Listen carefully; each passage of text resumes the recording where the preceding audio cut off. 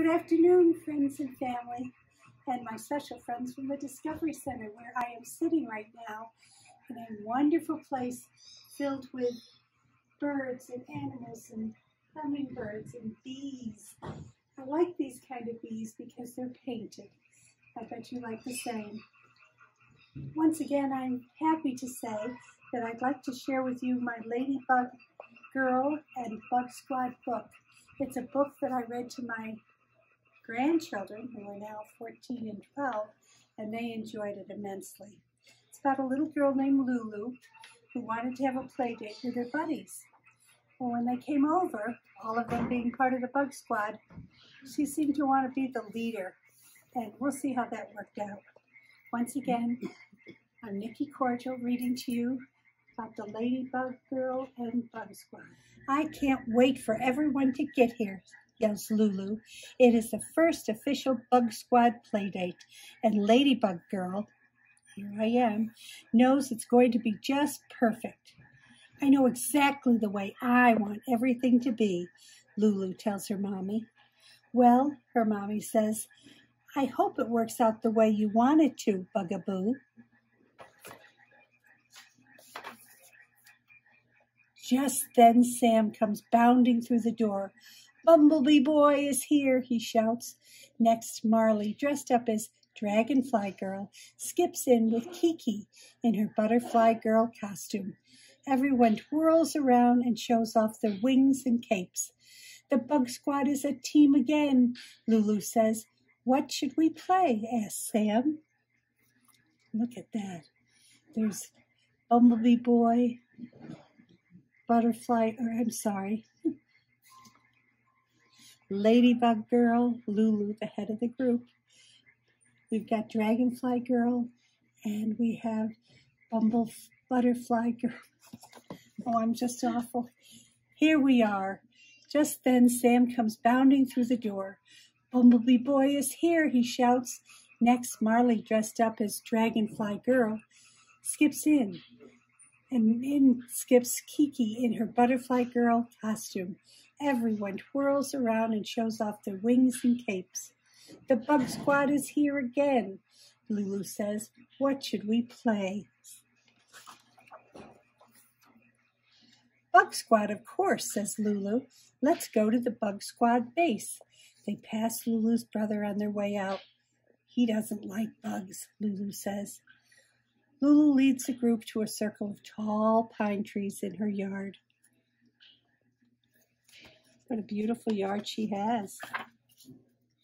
This is it, says Lulu. The low hanging branches and the soft carpet of pine needles make the perfect hideout. I like it, says Sam. It smells good, says Marley. They set up their base. Bumblebee Boy and Dragonfly Girl zoom off to collect sticks to defend the bug squad from bad guys. Let's go pick flowers to make it pretty, says Butterfly Girl. Ladybug Girl says, Bingo, you stay here and guard the fort.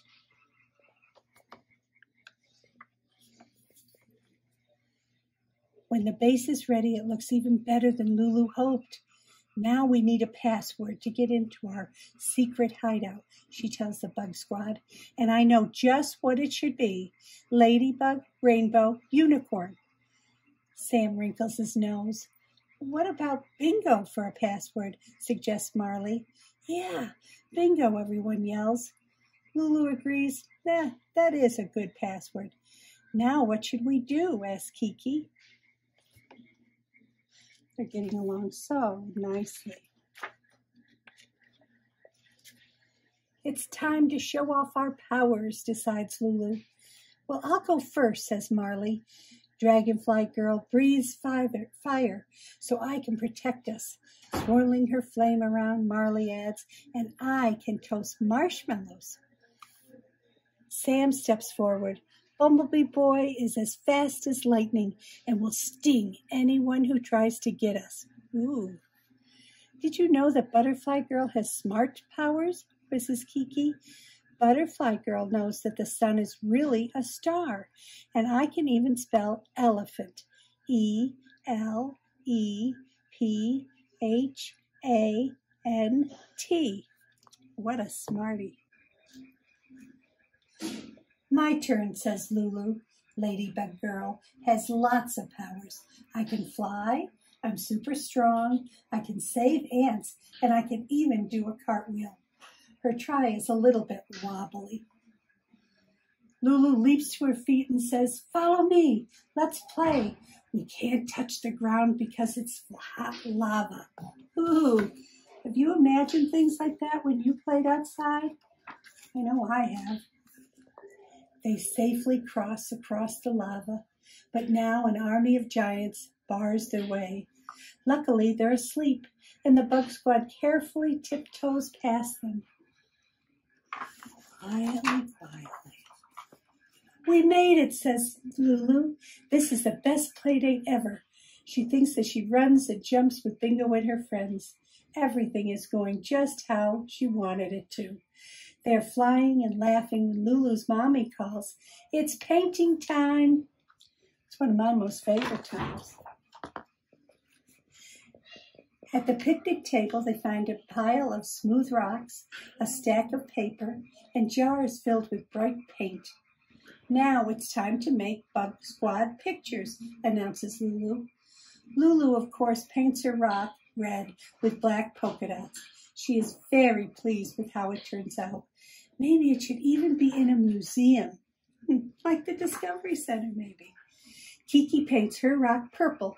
This is Pluto. Marley is painting a pretty dragon playing soccer. Sam is painting a picture of a robot fighting a giant squid. Oh my. No one paints Bug Squad pictures except for Lulu. Hey, you guys were supposed to, Lulu starts, but then Mommy calls with a platter of, hmm, I wonder what she's got. A platter filled with beautiful chocolate cupcakes. Mama sets the cupcakes on the table and lights the candles.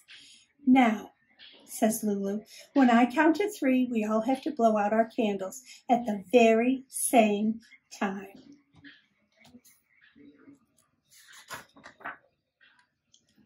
Lulu counts one, two, three, and blows out her candle. Then she sees Kiki's candle still flickering. Lulu leans over and blows out Kiki's candle too. Lulu takes a big bite of her cupcake and notices that Kiki hasn't even picked hers up. Well, what's wrong, Kiki? Lulu asks. You blew out my candle, Kiki shouts. But I was just trying to help you, explains Lulu. You didn't blow out your candle at the right time. I didn't have to do it your way. I was making a wish, and you ruined everything, yells Kiki. Lulu's stomach feels funny. She didn't mean to hurt Kiki's feelings. She never meant or wanted to, that in a million years. It's just that she was having so much fun that she didn't think twice when she blew out Kiki's candle. Lulu just wanted things to be the way she had imagined them. Now that she sees Kiki is upset, Lulu wants her friend to know how sorry she feels. But what if Kiki doesn't understand? Then Lulu remembers that Ladybug Girl never runs away when things get hard. Ladybug Girl knows what she must do. Wonder what that will be. Ladybug Girl takes a deep breath and says, Kiki, I'm sorry I blew out your candle. Ladybug Girl adds, How about if we ask my mom to light yours again?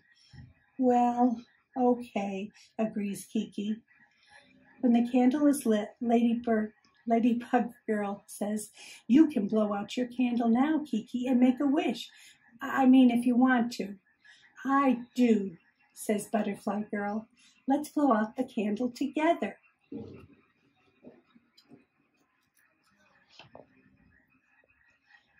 When they finish their cupcakes, they decide it's time for a very important secret Bug Squad mission.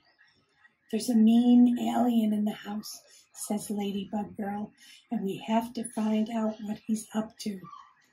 Who do you think that might be? Let's find out. Big Brother. The end.